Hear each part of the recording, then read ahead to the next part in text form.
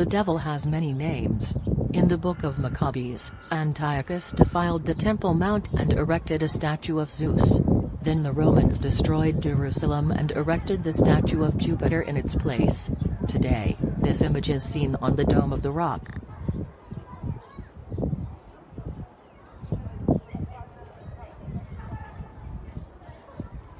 If you look at the top picture, to the right of the far right column, stands this ornate slab of limestone. Over years of weathering, this image of the texture of the limestone has become apparent. A close-up is posted below.